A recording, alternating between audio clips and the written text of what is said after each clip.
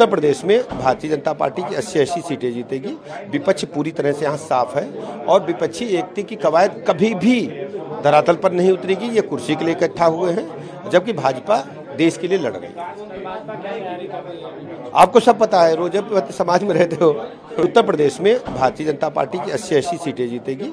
विपक्ष पूरी तरह से यहाँ साफ़ है और विपक्षी एकता की कवायद कभी भी धरातल पर नहीं उतरेगी, ये कुर्सी के लिए इकट्ठा हुए हैं, जबकि भाजपा देश के लिए लड़ रही है। आपको सब पता है, रोज समाज में रहते हो। नमस्कार, मैं हूँ मानक गुप्ता। अगर आपको हमारा ये वीडियो पसंद आया हो तो इसे लाइक और शेयर ज़रूर करें। और हाँ, हमें सब्सक्राइब और फॉलो करना ना भूलें, ताकि आप देश और दुनिया की कोई खबर मिस ना करें। तो जुड़े रहिए हमारे साथ और देखते रहिए न्यूज़ 24